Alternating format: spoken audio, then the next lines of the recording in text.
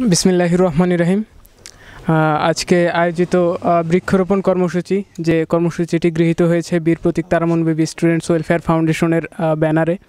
তো প্রথমেই আমি ধন- ধন্যবাদ জানাচ্ছি এই সংগঠনের আমাদের বড় ভাই আমাদের বন্ধুরা যারা আছেন এবং জুনিয়ররা যাদের উদ্যোগে আসলে এই কর্মসূচিটি গ্রহণ করা হয়েছে এবং আল্লাহর রহমতে আমরা সেটাকে বাস্তবায়ন করতে পেরেছি।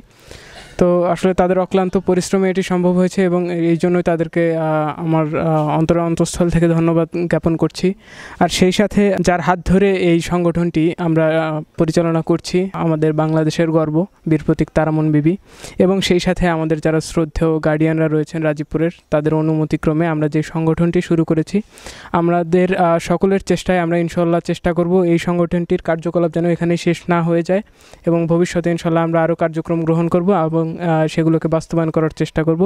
এবং সেই কর্মসূচিগুলো বাস্তবায়ন করার জন্য আমাদের রাজীবপুরের সম্মানিত গুরুজনদেরকে আমরা পাশে চাই এবং সেই সাথে আমাদের বড় ভাইরা এবং আমরা যারা রয়েছে বন্ধুরা এবং সেই সাথে আমাদের ছোটোদেরকে আমরা যেন সবসময় পাশে চাই, এই আশাবাদ ব্যক্ত রেখে এই সংগঠনের দীর্ঘায়ু কামনা করে এই সংগঠনের কার্যক্রম যেন স্থায়ী হয় এবং এটার পরিব্যাপ্তি যেন ছড়িয়ে পড়ে সারা দেশে, সেই আশাবাদ ব্যক্ত রেখে আমি আমার সংক্ষিপ্ত অনুভূতিটুকু জানিয়ে শেষ করছি।